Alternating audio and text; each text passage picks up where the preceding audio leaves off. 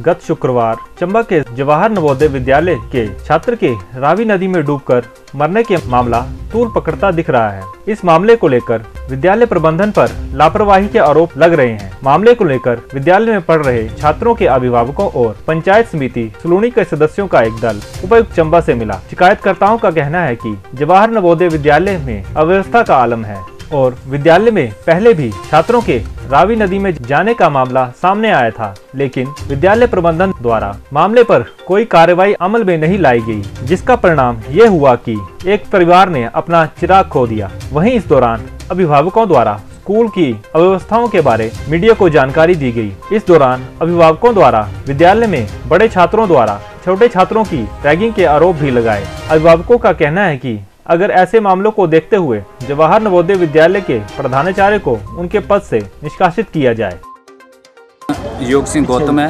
मैं सलूनी ब्लॉक का BDC vice chairman हूँ और जिला चंबा का शिकायत निर्माण कमेटी का सदस्य भी हूँ। आज हमारा उपाध्यक्ष महोदय जी से मिलने का ये उद्देश्य था कि जो 28 दो 2020 को जो जवाहरलाल नवोदय स्कूल सरोल में जो घटना घटी है, स्कूली छात्र जो है नदी में बहने से की मृत्यु हुई है, उसके बारे में हम माननीय डीसी महोदय जी से मिले और हमारी उनसे भी यही मांग रही है कि जो भी इसमें दोषी पाए जाते हैं, स्कूल के प्रिंसिपल, कर्मचारी, उनके ऊपर जो है सख्त कानूनी कार्रवाई अमल में लाया जाए और हमें पूर्ण विश्वास है कि हमारे माननीय डीसी महोदय जी इस पर जो सख्त कानूनी कार्रवाई करेंगे।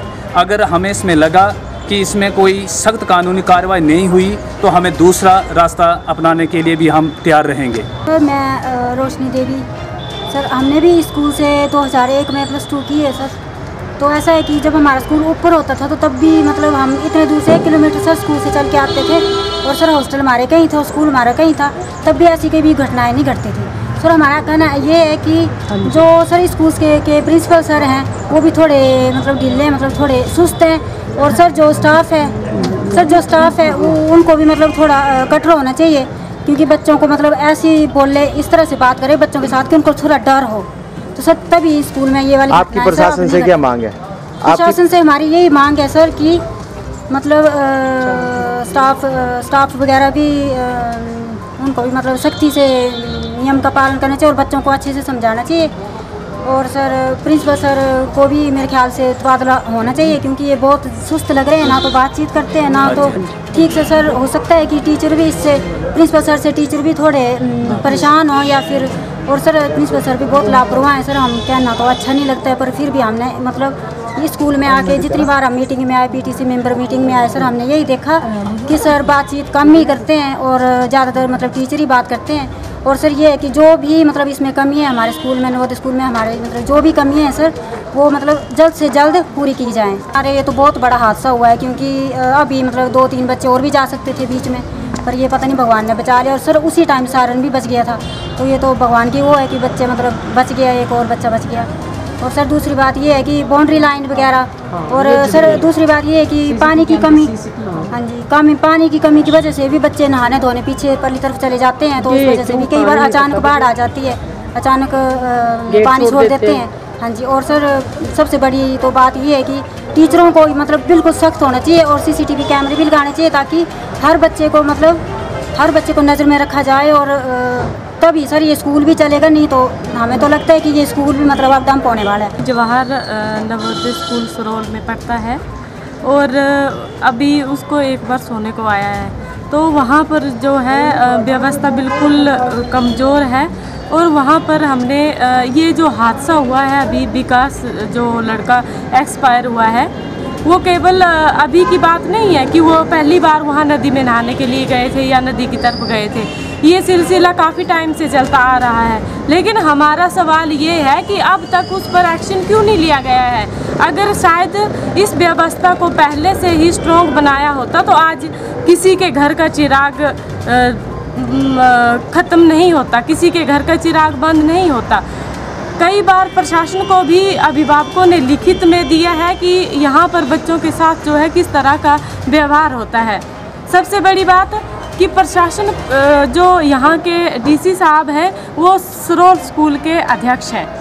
लेकिन हमें निराशा इस बात से है कि अध्यक्ष होने के बावजूद और उनको जो काफ़ी परेशानियाँ बच्चों ने बताई थी, अभिभावकों ने बताई थी, उनके सामने रखी गई, लेकिन उसके बाद भी कोई एक्शन नहीं हुआ। लेकिन इससे पहले हम लोग चुप थे, लेकिन अब हम लोग चुप नहीं रहेंगे, क्योंकि एक बच्चा खोया है कल को कुछ और हादसा भी वहाँ हो सकता है। और दूसरी बात, जो अहम बात है, वो मैं आपके समक्ष मीडिया के ज़रिए ये बताना चाहती हूँ कि जवाहर नवोदय स्कूल सरोल जो है, वहाँ पर अंदर ही अंदर नशा जो है, वो तीव्र गति से बढ़ रहा है। लेकिन जब हम इस चीज़ की बात करते हैं किसी के सामने तो अभिभावकों से ये पूछा जाता है कि आप हमें प्रूफ दो। भैया, हम लोग कैमरे लगा के जाएँगे वहाँ पर, किस तरीके का प्रूफ देना?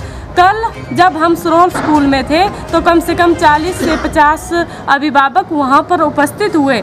सभी का यही इल्ज़ाम था कि बच्चे जो है, नशे की लत में पड़ चुके हैं।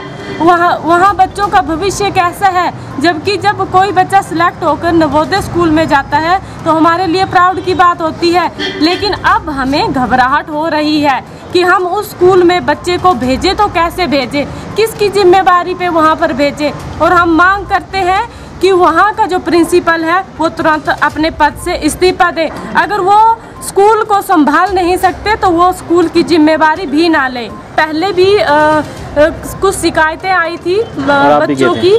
हालाँकि मैं भी वहाँ पर गई थी और बच्चों ने चाइल्ड लाइन टीम के साथ मैं भी वहाँ पर गई थी। यही केस सामने आया था कि जो बड़े बच्चे हैं वो छोटे बच्चों के साथ रैगिंग करते हैं। बच्चों को जो सामान दिया जाता है उसकी चोरी करते हैं। यदि वो किसी टीचर के साथ या अभिभावक के साथ शिकायत करते हैं तो उनके साथ मारपीट की जाती है। हेल्पलाइन वहाँ पर आई थी। सब लोगों ने पूछने का प्रयास भी किया। कि कोई बच्चा वहाँ पर बताए लेकिन किसी भी बच्चे ने आ, सामने मुँह खोलने की हिम्मत नहीं की। बच्चे के चंबा हलचल मीडिया नेटवर्क रिपोर्ट।